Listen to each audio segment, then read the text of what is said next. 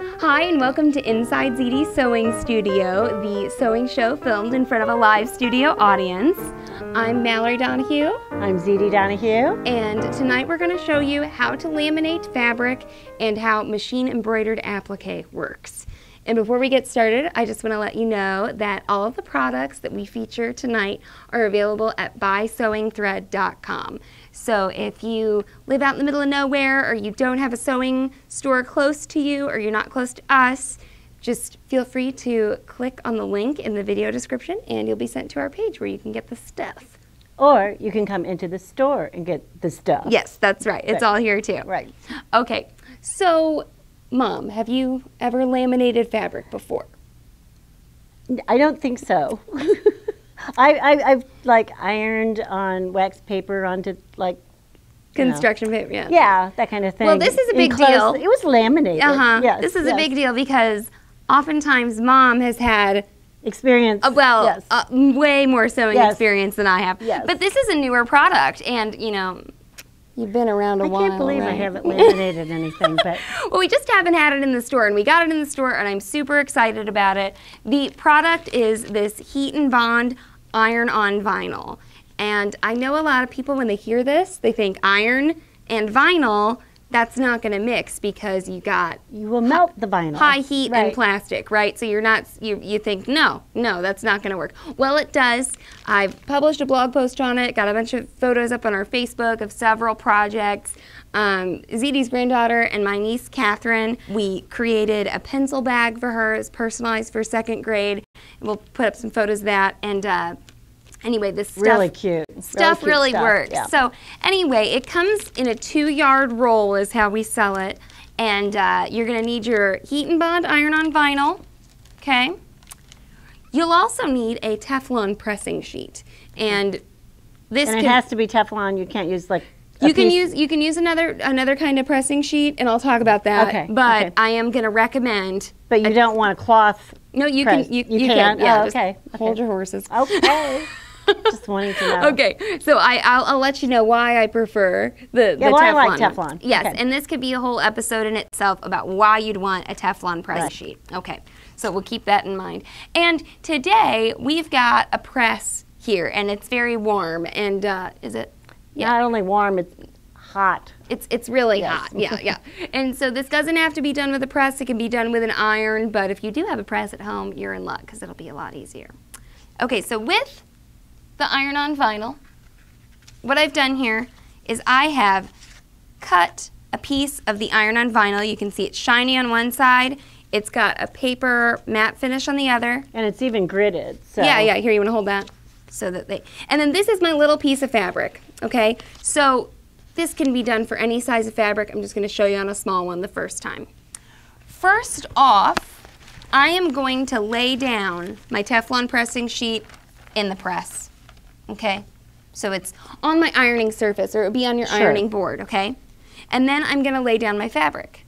And you know, my fabric's a little wrinkly right now. I'm just going to go ahead and give it a press. Give it a press. Yes, You, because, you don't want to laminate the wrinkles in. No, Unless you want the wrinkles. Sure. Sure. I, I haven't tried that yet, Right. but Sounds like maybe another taping. yeah, no, something something else when we when we start to uh, experiment. Right. But the um, you do want your fabric to be flat. You don't want bubbles in your laminating. Okay. I'm going to show you this piece, and I'll answer some some questions I'm sure you have. And then you peel actually the paper backing. Oh, you actually peel it off Uh-huh. before you do it. You peel it off before you do it. We had a customer who bought some of this elsewhere, and the directions were in Spanish, which happens to be not her mother first tongue. language, And okay. so, if they were in Spanish and you speak Spanish, that's great, but she did not. Right. Uh, and it's sticky on this side just a little bit. So I'm going to peel it off. Okay. Put my paper backing down, and I'm going to smooth this onto my piece of fabric. Now, the reason I like to use a Teflon pressing I sheet see why. Yeah. under my fabric is so I don't laminate my ironing board. Right. So you don't laminate two. That's that- right. Or another piece of fabric if you were. That's using right. That's right. That's right, or, or whatever. Because so, nothing sticks to the Teflon. That's right. Nothing will stick to the Teflon. Now, the manufacturer's instructions on the Heat N Bond vinyl say that you can then use your your paper layer. backing as your top layer Okay. to press. Sure. If you have an iron, you do this in sections, okay? So that can work. I've got a press, and also when I used the iron, and you saw that in the blog post that I did, I still use the Teflon pressing sheet on top mm-hmm. because I am not perfect, and my vinyl may not be on the exact border Right. of my sheet and everything, and I just want it to be protected. I don't want to get vinyl on my iron Right. or my ironing board, so I'm just going to fold this in half and make a Teflon sandwich. Okay? Now the directions say that you should first press on the top side of the fabric for eight seconds. Mm-hmm. So, one, two. And when she says press, she means press. You're not going to scoot the iron Not going to scoot your iron. If you do your iron, you want to do section. Now, does it say to apply pressure? Because with the press, we get pressure. A little bit of pressure. yeah, okay. The heat is the main thing. Okay. Okay. And I'm going to raise this up. I think that was eight seconds, right? Well, close Sure. enough. Yeah. Okay, and so now it's fused. It is really cool. But what you're supposed to do next, Is and what I, cool? I no, Oh. you're supposed to flip it over oh, okay. and do it for four seconds on the second side. Okay, so a little bit less time here. So, for Mississippi, yeah, exactly. three And Mississippi. you know, doing it with your iron's fine. And when we get our press up and we take our now be careful please everyone and the Teflon gets hot. The Teflon conducts heat. This is hot right, Right. now. It's not too hot because it was only on there for four seconds. But my vinyl that was a little outside of my piece of fabric is it. You know, it's stuck a little to It'll the come- Teflon, it'll come right off. but it'll come off. And so there you go. there we go. It doesn't stick forever. And now I have a piece of laminated fabric. And so where It's do you so neat. where do you see it? Where do you see laminated fabric? Well, we made a pencil case. Yes, which was fun. We see it on lunch bags, on Mm. diaper changing covers, or on diaper bags, etc. Um, if you have a larger Placemats. yeah, placemats, uh, anything else that you want to be water resistant. Can I laminate anything besides fabric with this? Does it say? You know, it doesn't say that. But I am going to find it. We're out. gonna try. Yes, we're going to try. We're going to Okay. be doing lots of experiments. So keep a lookout on the blog at Right. sewhereblog.com. bibs, bibs, bibs. bibs. Well, for adults and children. I That's mean, true. we have we have a bib for car rides for us. Yes, and, we um, do. my friend called it my uh, Taco Bell bib because just get Taco Bell all over you in the car. But I want to, I do want to cover some things, some tips for when you, when you're not using a press, if you don't have the luxury of a Right, press. right, right, Your iron may have holes in it. right. Okay, so your fabric wouldn't get that contact from the iron. Okay, and so when you move the iron around, just make sure that you give your vinyl equal pressure all over so that it's shiny all over. I did when I was pressing my vinyl with the iron. I got a little bubble on my last corner, but I just smoothed it, Well, it was pressed still my warm. iron down, and it was fine. So I have not had any trouble with this. Now, Mom, you asked, can you use fabric pressing sheet? Good question. You can. You may laminate your fabric pressing sheet. That's It's not your goal. It's just so worth having the Teflon. But yeah. their their main specification is that it be flat. Right. Uh, It's really important to get even distribution of the heat and everything to get your laminated Right. fabric. Now, what if you're laminating a piece of fabric that's larger than this? Okay, so I'm going to put that one aside and get out my polka dots. If you go to buysewingthread.com and you get a Teflon pressing sheet, you might just want to get another one while you're at I it. I like two. I always have two. Yeah, it's Yeah. a really good idea to have two. And I'll tell you what, they last forever. Yeah, they do. I mean, I think the maximum. well, you, what happens is you lose it. or you lose Yeah. it or something like that. And so, Before you do that, Mallory, I want you to press the wrinkles out of that. oh, oh, I was going to. Thank you for reminding me. Okay, thank you. So anyway, while while that goes, you want you want to peel this? Oh, okay. I thanks. guess. I hope I Um, can see it. I might have to use my bifocal. Something I think something that was a challenge to me when I laminated the fabric was that it was rolled up. Uh, Yeah. The, the, the vinyl was rolled up like that, and it has to be rolled up because if it's folded, you get a crease. You don't want Exactly. You don't want to buy this, you know, folded Right. up. It anything. rolls, but you don't want a crease in it. Right, and so just be careful when you're undoing it And I had a few threads on top of here that I'm going to move. I had this off and now I, okay. And now you got it back on. Yeah, I'm, I'm okay. I got to, I'm not, do I need to do anything more than start it? You want it Nope. off? There we go. Look, teamwork. Have your mom come to your sewing room, help you out. Okay. And now I'm That going was my first time. Good job. Good job. Now I just get to lay this on top. The Teflon pressing sheets give you a degree of freedom. You don't have to worry about, oh, am I getting the vinyl on just perfect? You can cut your vinyl a little larger. Question that I know someone asked in the blog was, do you cut the vinyl to the size of your pattern pieces, lay them on your pattern pieces, or do you laminate a big piece of fabric and then cut out your pattern pieces? And honestly, I think it could possibly depend I was going to say, on the the project. situation. Right, yes, right, yes. right. Now, of course, my pencil bag I made was two rectangles, so Right, right. issue. You know, uh, I think sort of give it a thought and think about how much vinyl you would be conserving Right. What's the most conservative way to do it? because the Right. vinyl, you know, it's it's a little expensive now compared to buying yards and yards of laminated fabric. Right, it's not. nothing. not, Well, so- and the thing about this is you get to laminate the fabric Whatever you want. you want. And or I guess we haven't ever laminated um, over embroidery yet. I want to try done that. I want to try okay, that. I want to try laminating over some textures. Sure, And give it a try. Now they they they recommend. I was thinking about putting like some Angelina in there or something and uh-huh, see what happens. absolutely, Yeah. absolutely. No, if I had been, if we had had more time, I would have liked to experiment big time. Okay. So watch for that, right? So yes, the- yeah. Okay. I'm just, I don't know. Heat N Bond's going to call us up and sponsor us because we're just going to be doing so much. Well, I'm I'm I'm doing that Angelina. Are you okay? Okay. Yeah.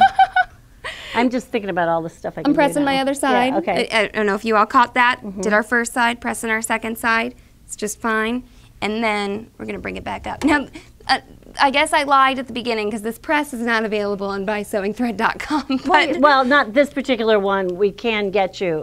but if a you different press. if you need a press, give us We a call. We will get you one. We'll get you one. Um, my other question Mm-hmm. is, can I laminate both sides?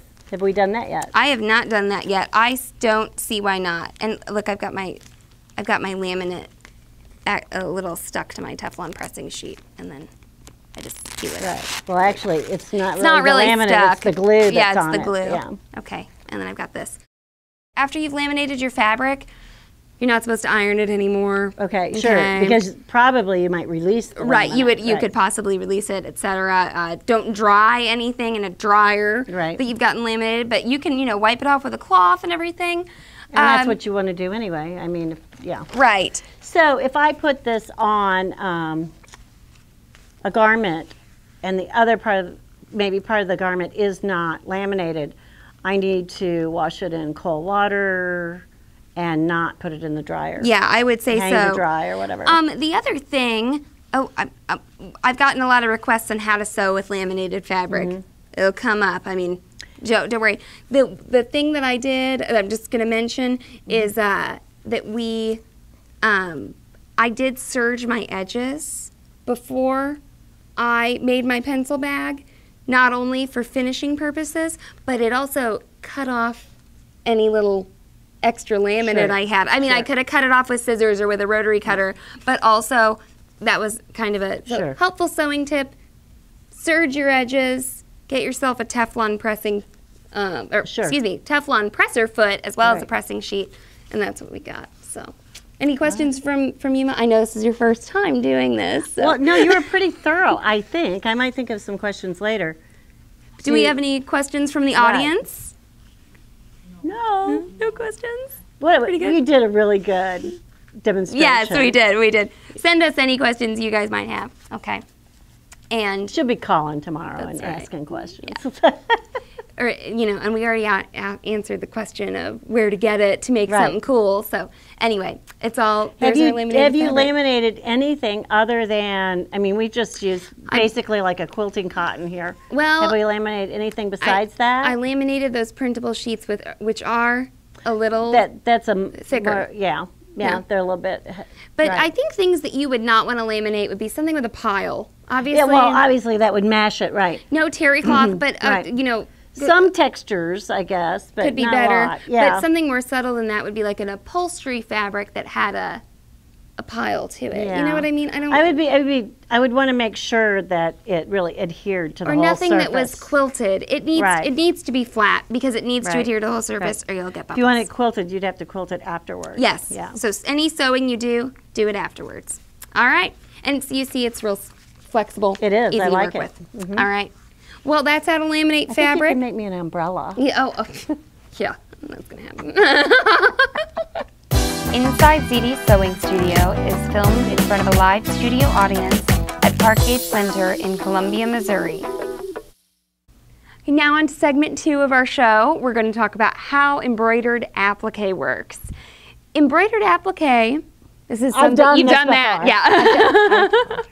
yeah, she taught me. Yeah. Did you know? I'll, t- I'll tell you the story. uh, You may have heard it before. One Well, of our I can act like I didn't if Okay. you want me to. One of our teachers, Linda Turner, who was a guest on another episode of Inside Zede's, Right. How to Embroider on a Onesie, is part of an applique group, some sort of Yahoo group that she's on. Oh, And okay. she said that there were these young women commenting at the group and saying, there are these things on Etsy, and this seller says that she's doing applique just with her sewing machine. and I don't even, that she must be lying because that's not possible. So It's possible. it's possible. And that's how Been possible for quite some time. how we used to do it. Okay, so but when we show you how to do applique on the embroidery machine here, it's not the only way, but it is a fun and exciting way to do it. Applique in French means to Apply. So it is a technique of taking a fabric piece and putting it onto another fabric, Fabric piece. piece, most of the time in a decorative shape or Mm-hmm. a letter or something like that. Well, are you see like um, your sports? A Yeah. lot of your sports uh, clothing, you know, the, the the letters are appliqued on. That's right. And so it's a it's a term a lot of people Right. who know who are even non-sewers. Right. But uh, anyway, so that's that's what's going on today with the applique. A couple tools that are going to help you with embroidered applique are a really good pair of scissors. Right. This is a little set from Floriani that we sell on buysewingthread.com and it is an amazing value. it's an excellent set. Yes.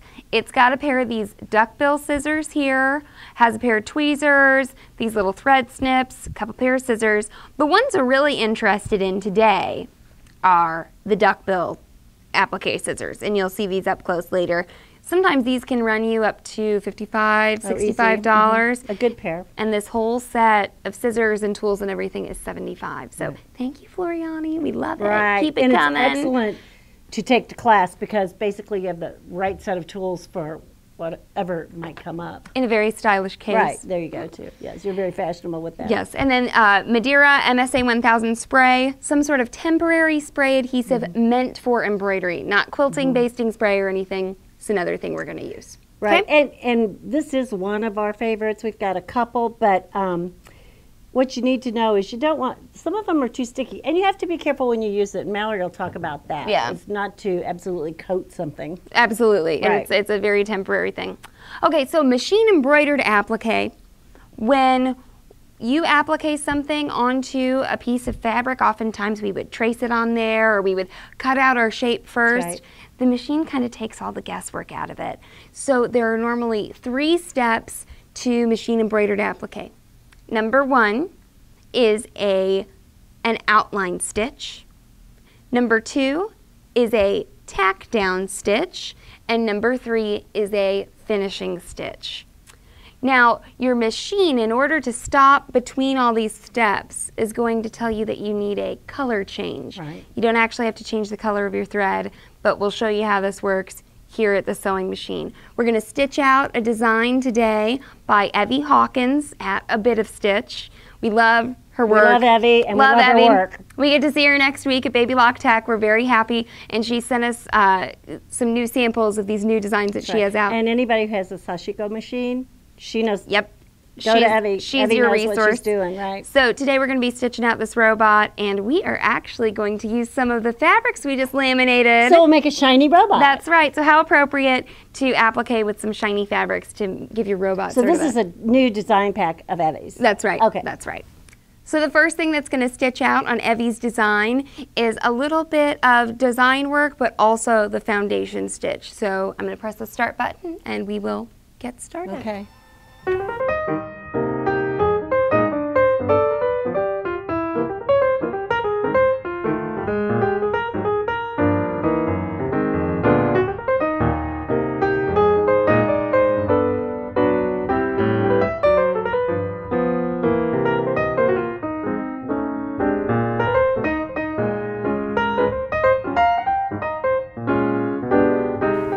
We just stitched out our uh, outline stitch. It gave us a guideline for where our fabric needs to go. Mm-hmm. So you can use scraps of fabric for machine embroidered applique, anything you got laying around, as long as it's big enough and you know it's big enough because the machine just showed you where it's going to go. area what the area is going to be. Now, oftentimes I can just lay my fabric here on the hoop, it stays nice and flat, and I can continue to embroider.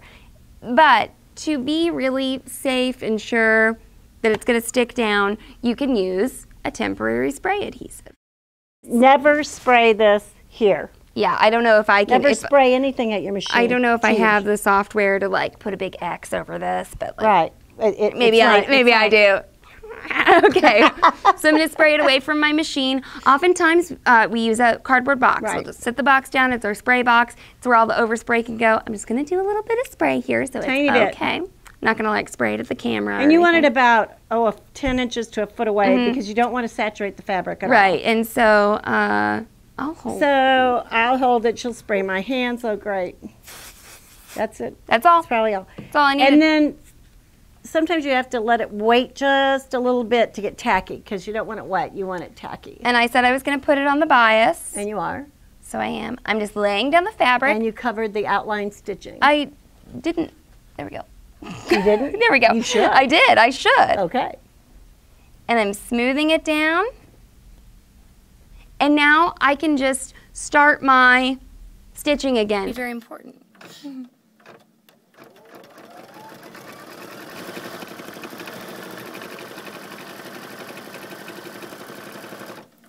The next step is to trim away your excess fabric, and I'm using these duckbill scissors.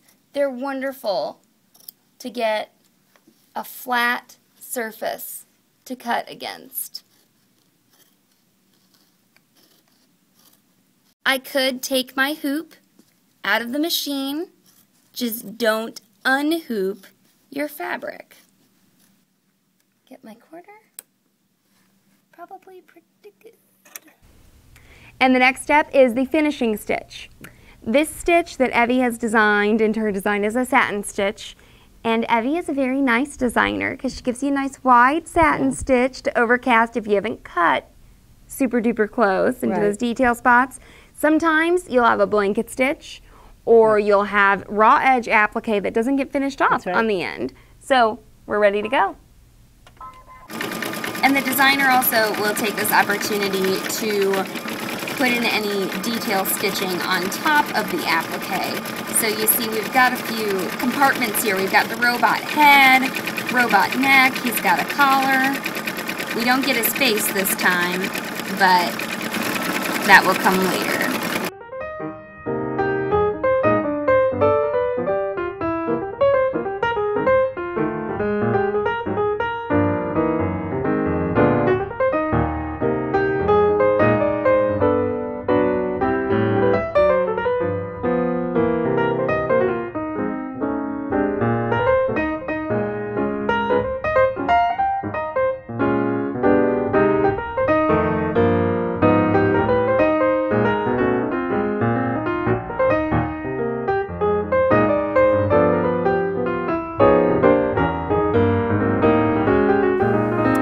Like to introduce you to my bot buddy, Fred, Yeah? here. Okay, Fred? actually, I think his name is Zap.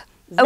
Okay, oh, Zap. That's a good name, Yep. Zap. So Yeah. as you can see, he's kind of shiny, kind of goes with the robot theme. So the laminated fabric, to answer perhaps a question that somebody may have had, how does it embroider out? Pretty well. Pretty well. Yeah. The needle goes through very nicely. We didn't have any stitching problems.